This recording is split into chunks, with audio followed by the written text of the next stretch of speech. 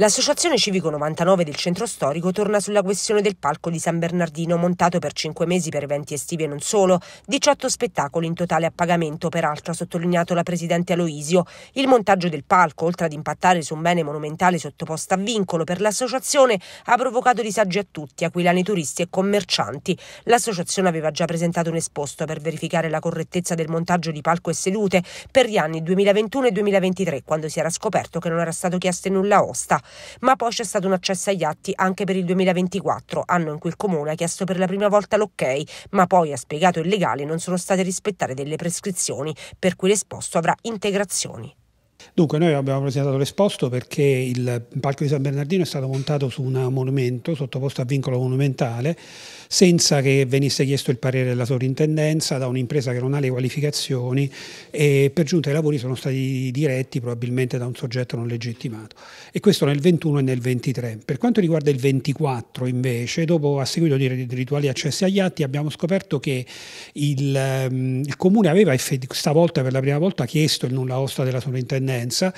la sovrintendenza l'aveva reso con una serie di prescrizioni che erano essenzialmente i lavori devono essere eseguiti da un'impresa che ha le qualificazioni e devono essere diretti da un architetto. Il comune invece non ha, fatto, non ha rispettato queste, queste, prescrizioni, per cui di fatto la, la, il nulla osta della sovrintendenza è rimasto inosservato e i lavori, anche questa volta di montaggio del palco, devono essere considerati abusivi. Quindi le integrazioni riguarderanno questo aspetto, insomma. Riguarderanno l'anno 2024.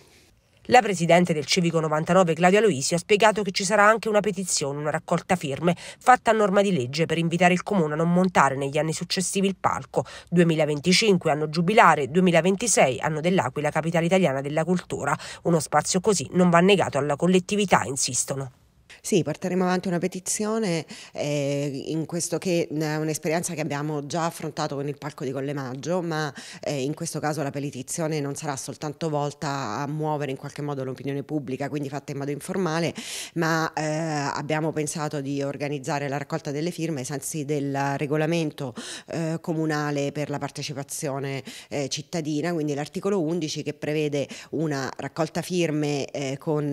caratteri della formalità in modo da sollecitare e quindi poi sarà poi obbligata sia la Giunta che il Consiglio Comunale ad esprimersi in merito all'opportunità di eh, rimontare per l'anno prossimo a venire che sarà l'anno giubileare e poi anche il 2026 che invece sappiamo eh, siamo stati eletti a Capitale della Cultura e montare nuovamente per un tempo così prolungato il palco di San Bernardino su Piazza Bariscianello, le sedute su tutta la scalinata con la chiusura integrale eh, sia della scalinata che eh, della piazza sostanzialmente